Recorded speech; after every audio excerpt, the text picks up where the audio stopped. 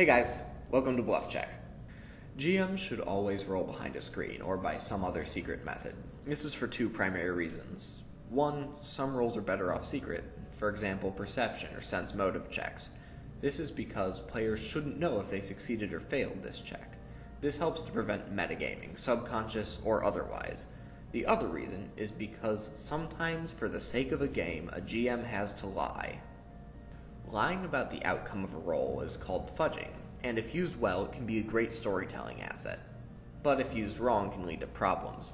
As a general rule, I don't fudge dice out of the favor of the party. I feel like if the dice gods are jamming with the party, then I'll let it go. But if, on the other hand, for some reason the dice gods have forsaken the party, I step in with my unlimited GM cosmic powers and give them a helping hand.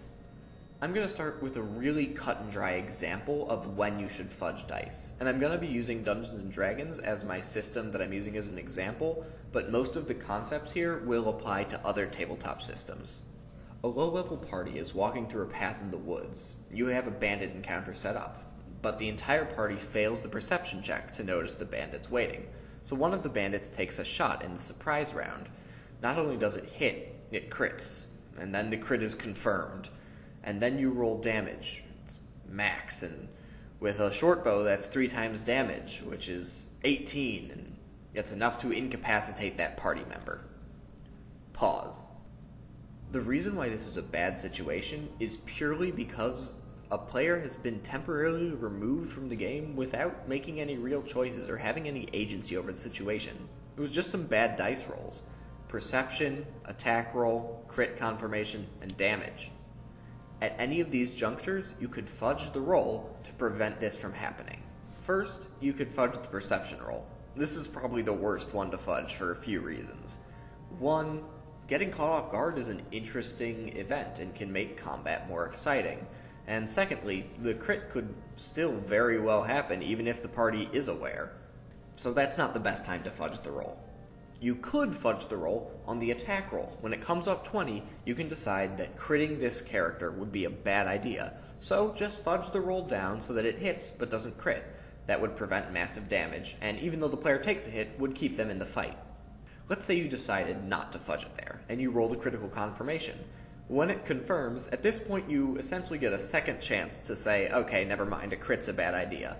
It's basically the same choice as before, but often fudging it at this juncture is more interesting than the previous one because of the tension created by the roll of the crit confirmation. Having a run in that close with a crit is exciting, even if you technically lied about the crit not happening.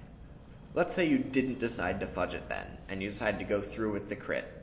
Well, you roll damage and it comes up a 6. That's 18, and you know it's too much. So you can fudge the damage down here. Uh, because of how crits work in D&D and most other systems, uh, crit can deal a small amount of damage. With a short bow, it's anywhere from 3 to 18. So if you just fudge the dice down, you can keep that player in the game, and everyone is happy.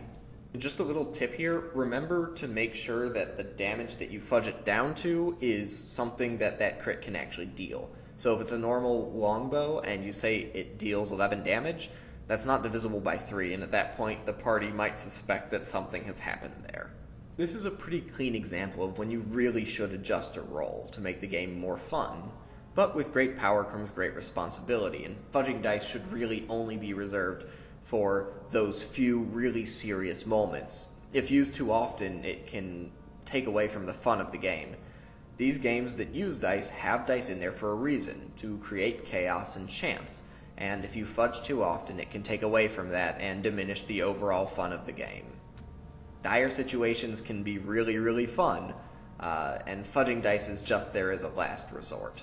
For me, what it comes down to when saving a character by fudging is how much agency they had over a situation.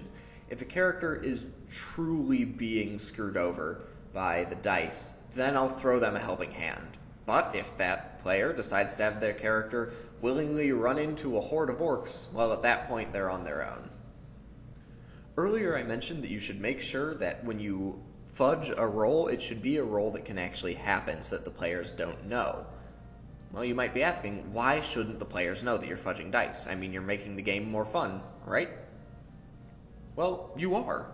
but it's better to keep the players in the dark about fudging because if they know that it's happening, then their successes feel less earned and less real, and therefore aren't quite as gratifying. Thanks for watching. Do you fudge? Or should you fudge? Let me know in the comments. Click here to subscribe. So go out there and fudge responsibly. I'll see you next week.